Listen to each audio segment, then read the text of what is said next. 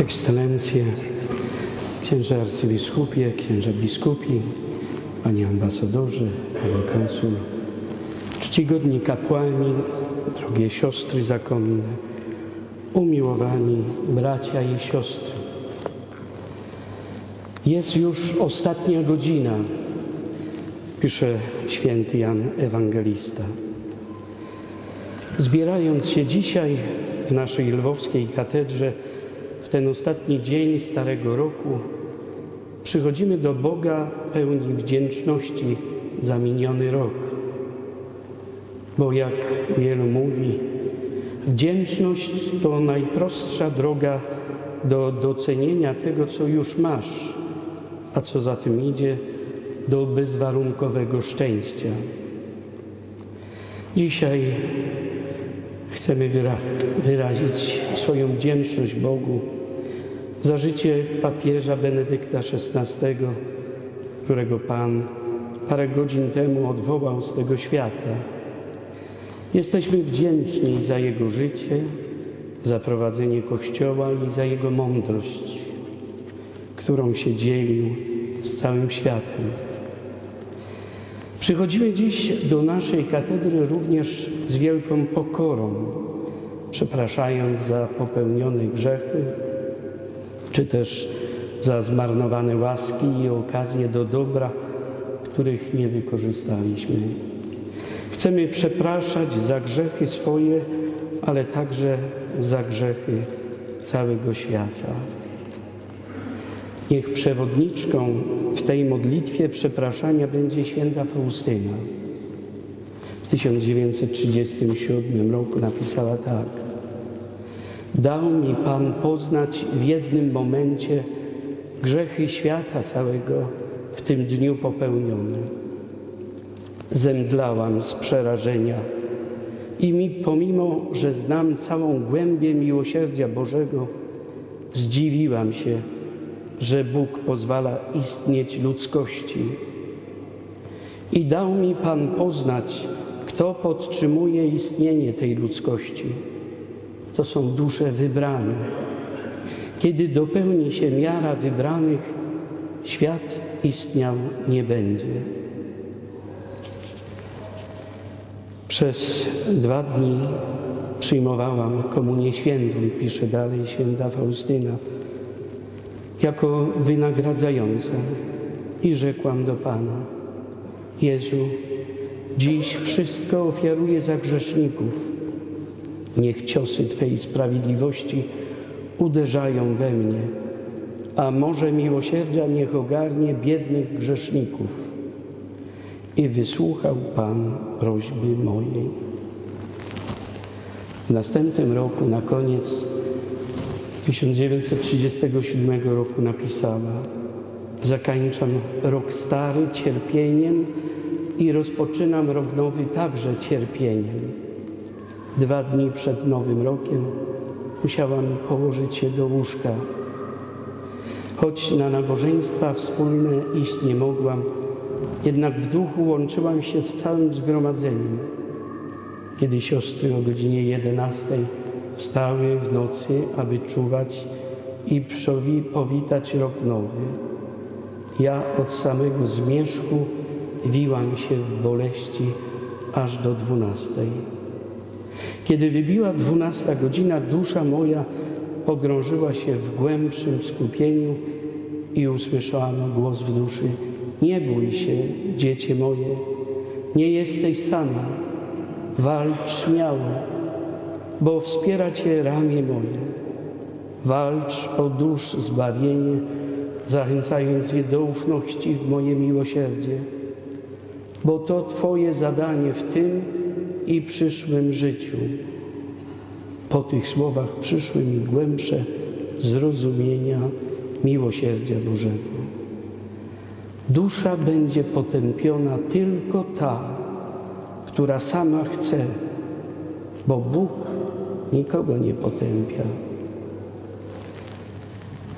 Idąc za wzorem świętych i my dołączajmy nasze ofiary, cierpienia, nasz lęk o najbliższych, nasze obawy, prosząc o wybaczenie za grzechy nasze i całego świata. Stoimy u progu nowego 2023 roku. Dlatego z niepokojem pytamy, co dalej będzie, jak potoczy się nasze życie. Te pytania dotyczą także sytuacji wojny.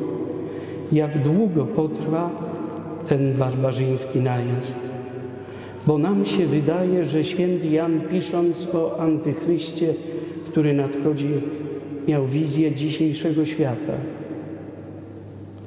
Przychodzimy tutaj także z wielką nadzieją, bo przecież wierzymy w boską opatrzność, w to, że to Bóg kieruje naszymi drogami. Wierzymy, że Bóg chce nas ocalić i jako dziecię przychodzi, by nas umocnić i zapewnić, że w domu Ojca jest dla nas przygotowane miejsce na wieczność. Te wszystkie myśli, uczucia, radości i smutki, nasze niepokoje i nadzieje składamy w żłóbku Pana. Tam idziemy jak pasterze, ufając, że ten, który przyszedł w ubóstwie i chłodzie, może nas uratować. Kiedyś święta Teresa Zawilla modliła się tak.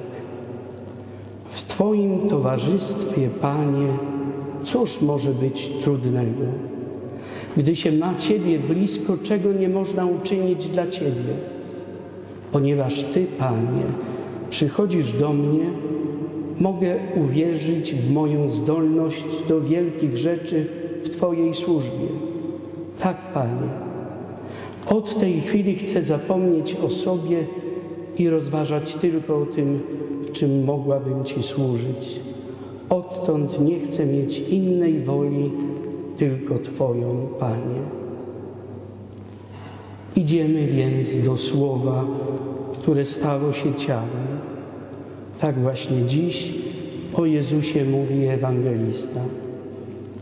Małe dziecko uczy się mowy, zaczynając od jednego słowa.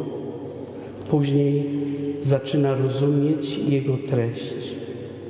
My również uczymy się słowa, które stało się ciałem. Wiemy, że będziemy głębie słowa poznawać całą wieczność. Dziś słyszymy w Ewangelii: Słowo było Boga i Bogiem było Słowo. Wszystko przez nie się stało. Słowo jest życiem i stało się światłością ludzi.